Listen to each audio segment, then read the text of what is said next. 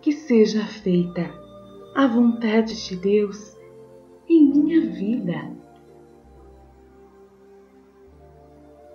Eis-me aqui, Senhor, para fazer a vossa vontade. Esse dom, esse dom de viver na vontade de Deus, implica não apenas a graça de fazer perfeitamente a santa vontade de Deus, mas em viver plenamente uma só vontade, a vontade de Deus. Uma imersão da vontade humana que se fundirá com a santa e única vontade do Pai, o nosso Pai, o Pai da nossa família humana. Somos todos irmãos e precisamos viver em harmonia plena.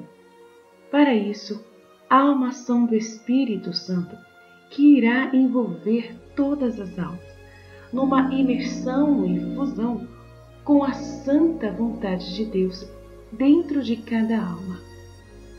Deus tem um dom para nós, um dom que todos nós seremos conectados como irmãos, unidos ao Pai, e a sua vontade irá reinar dentro de nós, pois iremos ouvi-lo dentro de cada um de nós. Ele irá nos instruir, nos guiar, nos firmar constantemente para vencermos todas as dificuldades de união com outros irmãos. Ele vai nos ajudar a ter as virtudes que são necessárias para vivermos uma fraternidade entre nós que nunca se acabará, que nada poderá nos deter de sermos os melhores filhos de um Pai que quer todos felizes, unidos, juntos. Acabou a divisão, acabou o individualismo acaba toda a maldade, toda a miséria, toda a tristeza acabará. E o nosso inimigo não poderá fazer mal a nenhum de nós.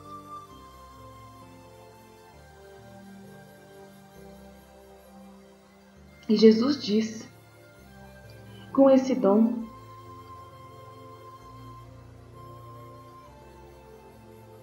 as criaturas, se essas possuíssem a minha vontade como vida delas, imediatamente teriam me reconhecido quando vim à Terra, porque minha própria vontade teria revelado quem eu era para eles de dentro para fora deles.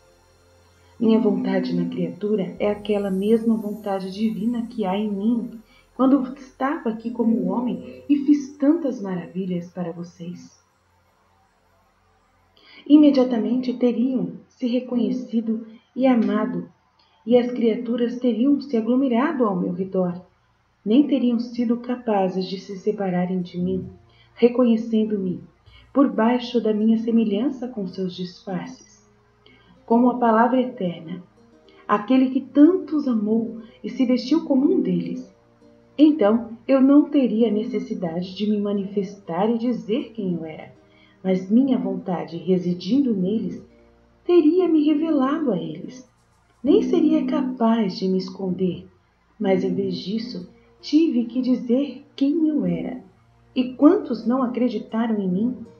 Portanto, até que minha vontade reine nas criaturas dentro delas, tudo fica velado e escondido, elas não me percebem.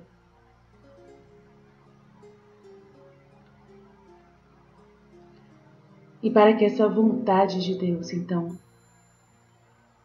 se revele para nós, ser como já o é o princípio e vida das nossas almas. Precisamos fazer uma grande imersão, um abandono à vontade soberana do nosso Pai. Eis um apelo que nós fazemos a você que Deus faz a você. Que Luísa Picarreta, serva de Deus, católica, que recebeu os conhecimentos sobre essa realidade, sobre essa verdade do reino de Deus dentro de cada ser humano, ela vem para nos trazer essa verdade. muito obrigado por estar aqui conosco. Iremos apresentar essa mulher tudo o que ela fez e tudo o que ainda nós podemos fazer com o material que ela nos deixou como herança.